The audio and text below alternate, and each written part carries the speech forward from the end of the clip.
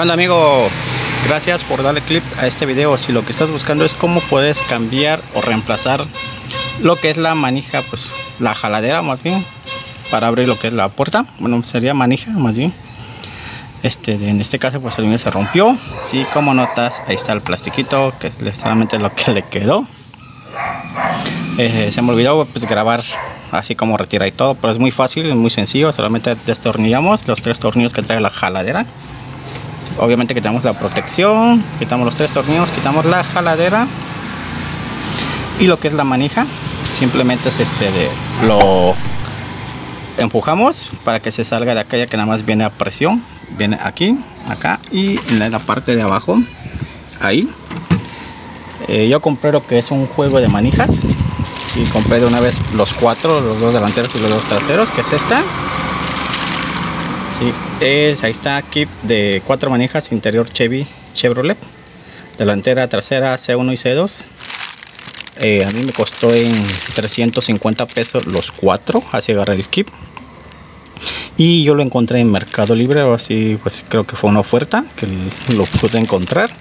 Y pues decidí adquirir los cuatro de una vez por 350 pesos porque según estuve investigando, más o menos cada manija vale como 80 o 90 pesos cada uno. Sí, y a mí, eh, a ver, déjame probar. No, este me salió en 300 pesos, ya chequé muy bien el dato, ya. Es 300 pesos me salieron por los cuatro.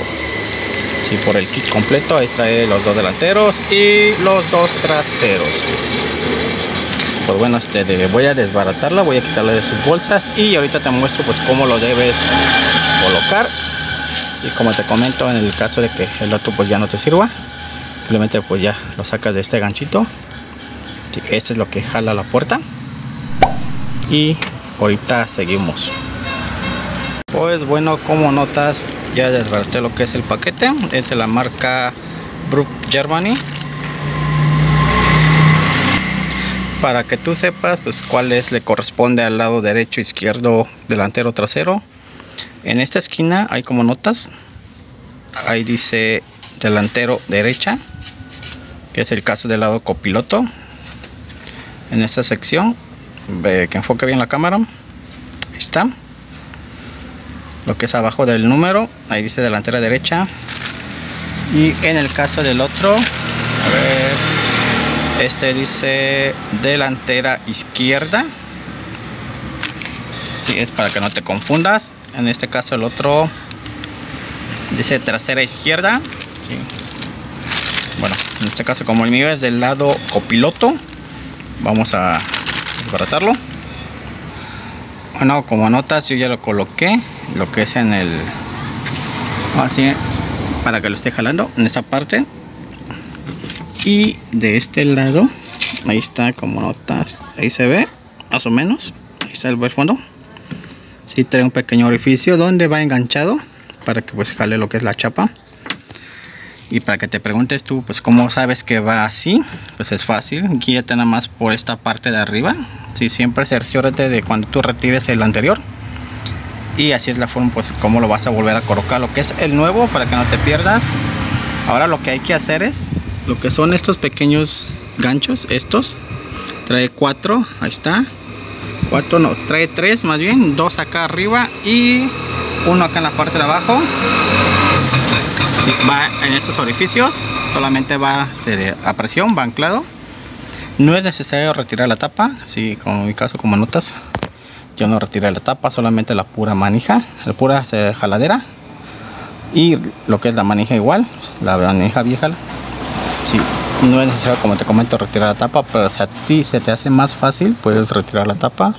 El chiste es, pues, de, es de que tú puedes reemplazarlo.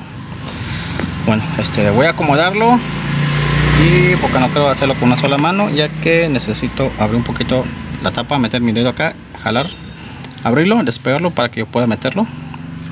Eh, ahorita regreso. Bueno, como notas ya lo pude pasar a través de la tapa de la puerta ahí está pero todavía no lo coloco en su lugar. Ahí se nota. Ahora como te comento lo que hay que hacer es jalar para que lo podamos acomodar bien.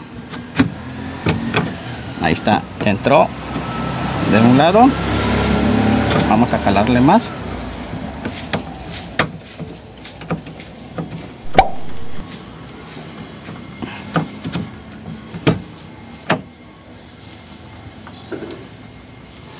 Eh, pues creo que voy a tener que ocupar las dos manos. A ver. Bueno ahí está ahí lo logré. Sí. ahora como ya entró simplemente hay que regresar eso hacia atrás para que embone bien. Y como notas ahí quedó. Sí. probamos. Como si nada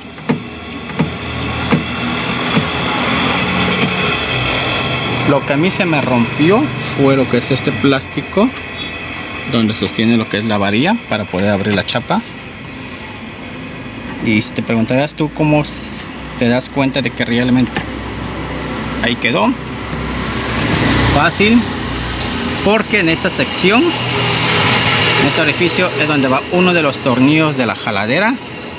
Si tiene que pues, verse perfectamente bien. Ahí como notas, ahí se ve a ver deja que enfoque un poco. Ahí está ahí se ve.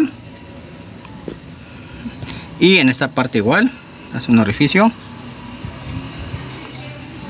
Y así es como queda lo que es el cambio de manija. ¿sí? en caso pues como te comento que el tuyo se haya rompido se haya roto o le haya pasado x cosa que no quiera abrir la puerta normal. Esta es la forma rápida y sencilla de cambiarlo pues bueno, hasta aquí vamos a dejar el video. Espero que lo apliques y nos vemos en la próxima.